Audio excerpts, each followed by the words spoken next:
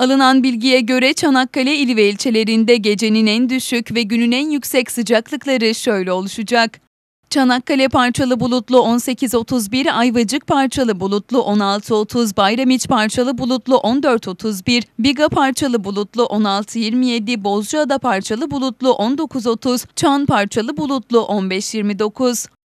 Eceabat parçalı bulutlu 17.31, Ezine parçalı bulutlu 15.32, Gelibolu parçalı bulutlu 17.28, Gökçeada parçalı bulutlu 20.31, Lapseki parçalı bulutlu 15.31, Yenice parçalı bulutlu 12.30. Bazı illerimizde ise gecenin en düşük ve günün en yüksek sıcaklıkları da şöyle oluşacak.